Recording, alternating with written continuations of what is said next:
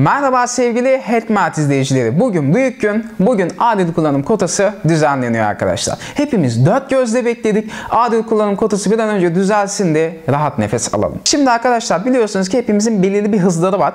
İşte 5 megabit, 10 megabit, 20 megabit, 50 megabit, 100 megabit. Şimdi kota aşılınca herkes 3 megabit'e düşüyor. Yani şaka gibi. Hani 100'den 3'e düşmek var, 10'dan 3'e düşmek var, 5'ten 3'e düşmek var. Hani bu hiç de adil değil. Aynı zamanda da verilen kotalar, satılan kotalar gerçekten hem pahalı hem de komik rakamlar arkadaşlar. 100 GB, 150 GB yani artık 200 GB bile bir dijital aileye yetmiyor.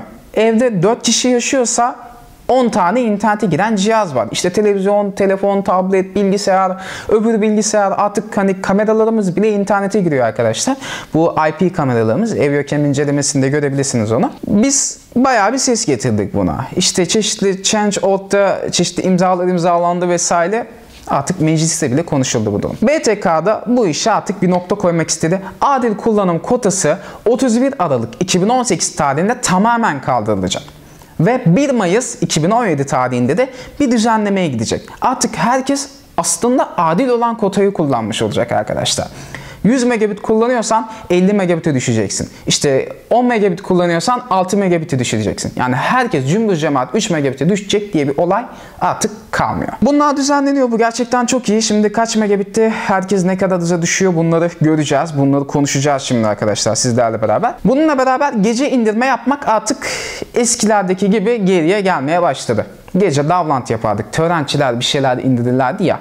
Artık arkadaşlar saat gece 2 ile sabah 8 arasında indirdiğiniz her şey kotaya dahil edilmeyecek. Yani o aldığınız 200 GB'lık adil kullanımı size o bir ayda çok rahat yetecek. Çünkü bütün indirmelerinizi, bütün downloadlarınızı, her şeyinizi gece indireceksiniz. Ve gece takılmak gerçekten kotaya yansımıyor. Hele ki bilişimciler için bu çok güzel bir şey. Arkadaşlar bu adil kullanım düzenlemesiyle beraber Ortaya kötü bir olay atıldı. 1 GB 1 TL gibi çeşitli konular atıldı. Bu videodan sonra o videoyu yayınlayacağım. Lütfen kanalıma abone olun. Abonelik bildirimlerini açın arkadaşlar. O videoyu ilk sen izle. Şimdi arkadaşlar adil kullanım kotasını açtığımızda internetimiz kaç megabit'e düşecek bunu konuşalım. Bundan önce size bir şey aktarmak istiyorum arkadaşlar. 4 megabit ile 8 megabit arasında kullanan kullanıcıların hızı 3 megabit'e düşecek. Ama 8 ila 16 arasında kullanan kişilerin de hızı 5 megabit'e düşecek. Şimdi diyorsunuzdur ya benimkisi 8 megabit ben 3'e mi düşeceğim 5'e mi düşeceğim? Bunu da şöyle belirleyelim arkadaşlar. Modem arayüzündeki tanımlı olan hız hangisi ise ona erişeceksiniz arkadaşlar. 81.92 yani tam 8 megabit sizin hızınız 5 megabit'e düşecek. Ama eğer 8000 değerinin altındaysa veya 81.92'nin altındaysa o zaman 3 megabit'e düşecek. Bunu modem arayüzünüzden görebilirsiniz. Şimdi şu tabloyu hemen size bir aktaralım. 4 megabit ila 8 megabit hızında olan kullanıcıların adil kullanım kotasını açtıklarında hızı 3 megabit'e düşecek. 8 ila 16 megabit arasındaki kullanıcıların hızı 5 megabit'e düşecek.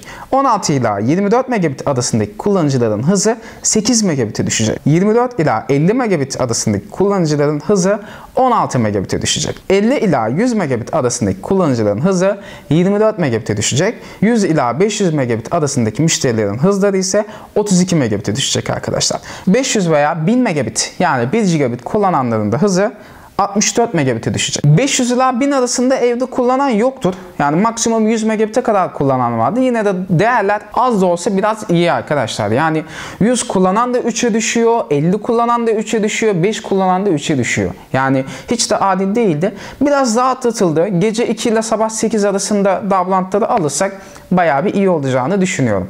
Arkadaşlar çok önemli bir konu var. Hemen bakın şuradaki videoyu izleyin arkadaşlar. Süper Online ve Uydinet bir karar aldı. Bu karar artık can yakıcı olaya döndü. Artık kotalı internete hoş geldiniz diyelim. Bunun nedenini hemen bu videoyu izleyip anlayabilirsiniz arkadaşlar. Bir sonraki videoda görüşmek üzere. Kendinize iyi bakın. Hoşçakalın.